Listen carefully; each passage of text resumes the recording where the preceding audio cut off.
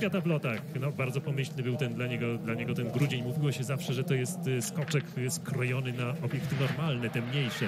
Ale on jakby temu zaprzeczył w grudniu i on tutaj y, szybował najdalej, zdobywając złoty medal Mistrzostw Świata w lotach. Bardzo dobra prędkość na progu.